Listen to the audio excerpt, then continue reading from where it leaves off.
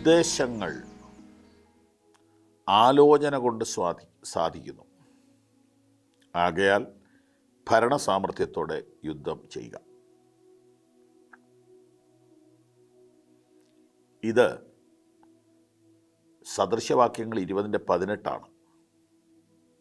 നമുക്കൊരല്പം കൂടെ ഒന്ന് ഭാഷ പരിശോധിക്കേണ്ട ആവശ്യമുണ്ട്. വാക്യം പതിനെട്ട്. Purpose and plans are established by council ഒരു നല്ല കൗൺസിലിൽ നല്ലൊരു ആലോചനാ സഭയിൽ വെച്ചാണ് നല്ല പ്ലാനും നല്ല ലക്ഷ്യവും ഉരുത്തിരിയുന്നത്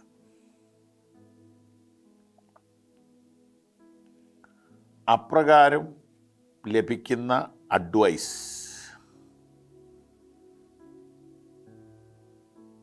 ഉപയോഗിച്ച് മാത്രമേ യുദ്ധത്തിന് ഇറങ്ങാവുള്ളൂ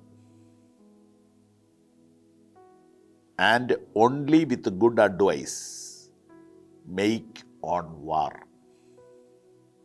and only with good advice purpose and plans established by council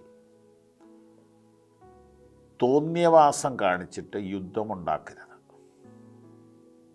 ego കൊണ്ട് മുൻകോപം കൊണ്ട് ദുരഭിമാനം കൊണ്ട് ദേഷ്യം കൊണ്ട് മറ്റൊരുത്തന്റെ മുതൽ ആഗ്രഹിച്ചിട്ട് മറ്റൊരുത്തന്റെ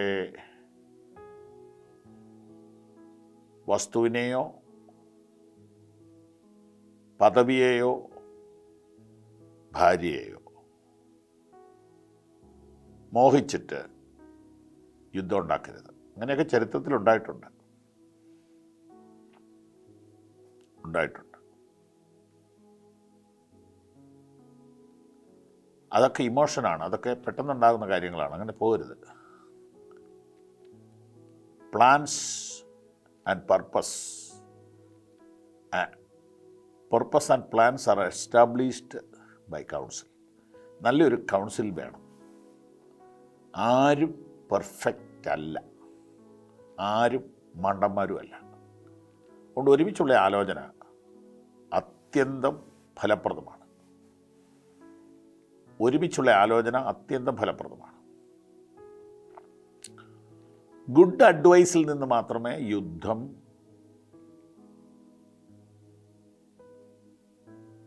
തുടങ്ങാവുള്ളൂ. നല്ലൊരു പ്ലാനിങ്ങും നല്ലൊരു പർപ്പസും നല്ലൊരു കൗൺസിലും നല്ലൊരു അഡ്വൈസും ഉണ്ടെങ്കിൽ യുദ്ധങ്ങൾ ഉണ്ടാകത്തില്ല. നല്ലൊരു പർപ്പസും നല്ലൊരു പ്ലാനിങ്ങും നല്ലൊരു കൗൺസിലും നല്ലൊരു അഡ്വൈസും അഡ്വൈസറി ബോർഡും അഡ്വൈസേഴ്സും ഉണ്ടെങ്കിൽ യുദ്ധം ഒഴിവാക്കാം.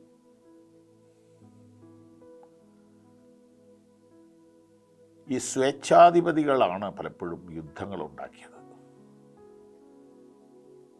എന്താണ് അവരുടെ വിഷയം? അവർക്ക് അഡ്വൈസേഴ്സ് ഇല്ല. ഉള്ള അഡ്വൈസേഴ്സ് ആരാന്നറിയാവോ? മുഖസ്തുതി വീരന്മാർ.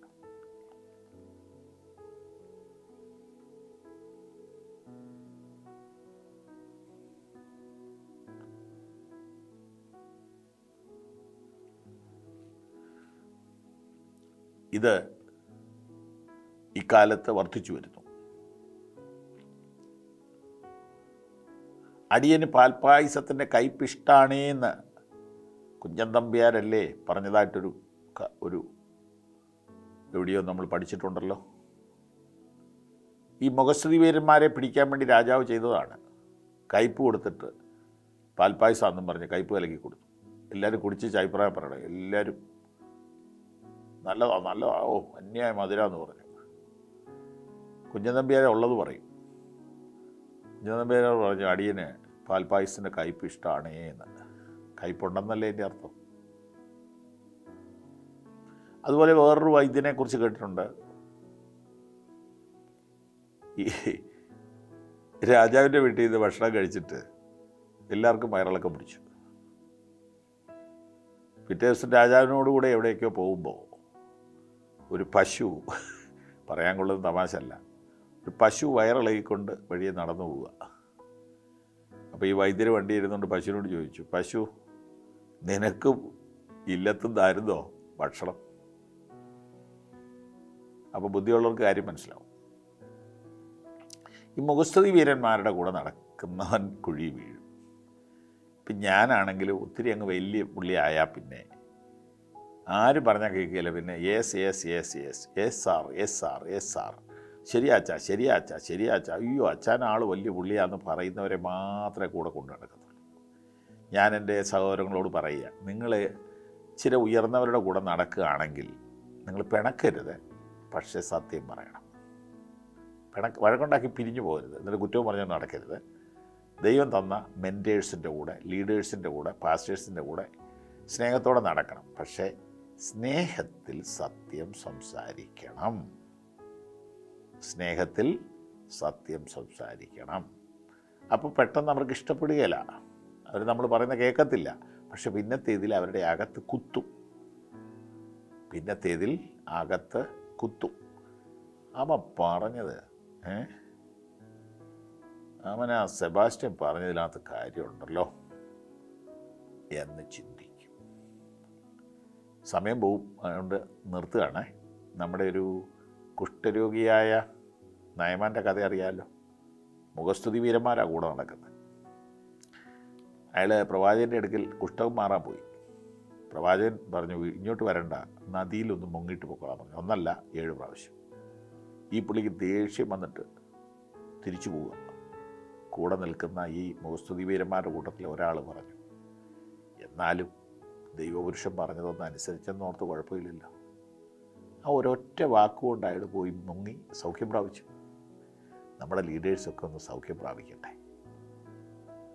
ദൈവം നമ്മെ അനുഗ്രഹിക്കും